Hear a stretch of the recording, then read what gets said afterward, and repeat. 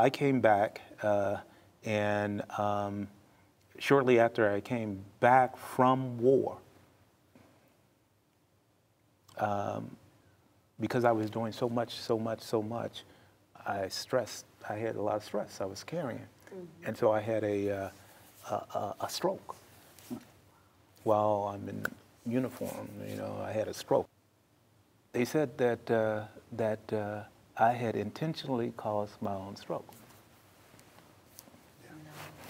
Yeah, that's what they told my wife. Yeah.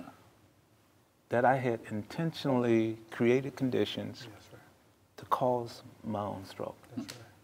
And um, my wife, uh, Kim, she she had to tell me what happened. She the only reason she told me was because we had to they had to sign, papers uh, to uh, for the military uh, and to get me care and etc. And so what happened was uh, I couldn't process it. It's like what in the hell over?